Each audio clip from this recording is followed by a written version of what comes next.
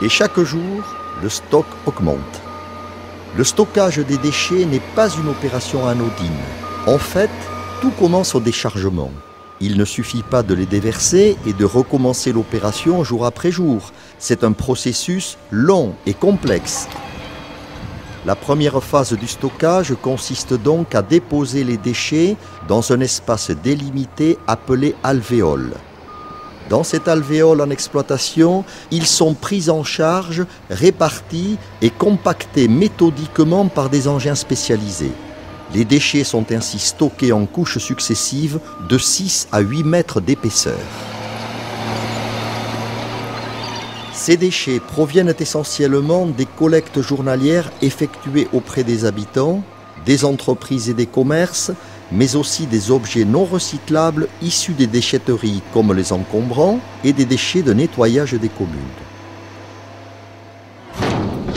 Les déchetteries de Bissigarbia sont gérées pour son compte par un prestataire privé.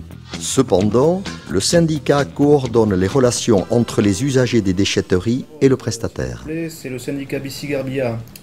Le syndicat Bissigarbia a mis à disposition des habitants de ces communes quatre déchetteries à Arcang, Saint-Pé-sur-Nivelle, Bidart et Saint-Jean-de-Luz.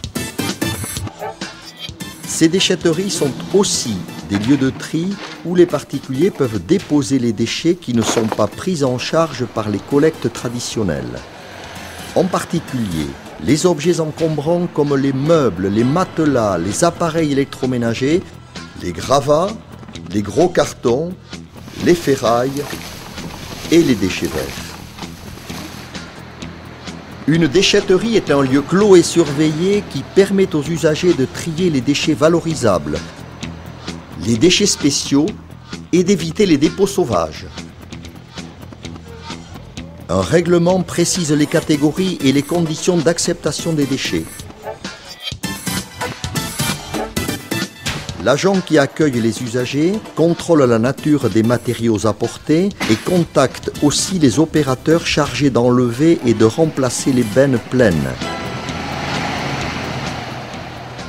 Les déchets répartis dans les différentes bennes, où il ne reste qu'un temps, sont orientés vers la filière la plus appropriée du point de vue économique et environnemental, soit vers le recyclage, le compostage, le réemploi ou l'incinération et le stockage. Le tri effectué par l'usager permet ainsi de bien valoriser ou éliminer les déchets apportés.